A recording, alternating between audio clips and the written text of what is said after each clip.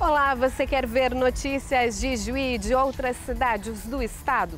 Então assista diariamente os jornais Canal Aberto, segunda edição aqui na TVE. Eu sou Luana Costa, jornalista da TV Juí.